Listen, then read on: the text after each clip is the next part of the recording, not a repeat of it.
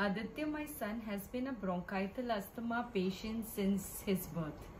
We've had tough and sleepless nights giving him nebulizer. He'd been advised to use asthma pumps on a regular basis. He was fascinated with swimming and a lot of other sports activities. Uh, but because of asthma problem and allergic issues, he wasn't able to pursue his interest uh, up until last two years back when we met Sunita.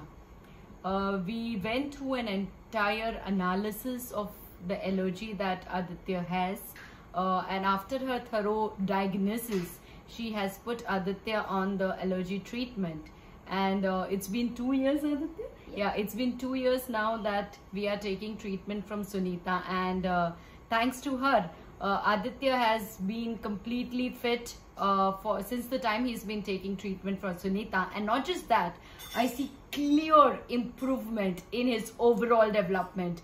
Be his stamina be his height be his eating habits and a lot more.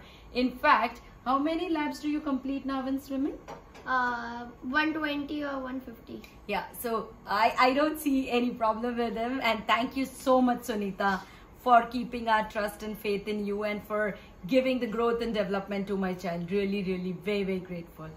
Thank you, Dr. Sunita Auntie.